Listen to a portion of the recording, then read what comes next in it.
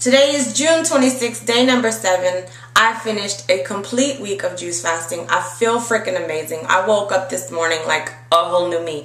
I had so much freaking energy. I was beasting on my workouts. And then I didn't even want to be on the computer. I was out all day. And then, um, what else? Again, I have so much energy. My face is clearing up and I'm loving it. I still have my freckles though, but still, you know what I mean. Um, the yucky film on my teeth is gone. I don't know, I feel amazing. I don't even feel like the same me. So I'm loving this. Day number seven.